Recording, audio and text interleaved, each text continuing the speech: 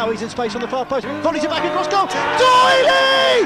Lloyd Doyley has equalised for Watford. Would you believe it? He has his goal and he runs to the supporters in front of the Vicarage Road end.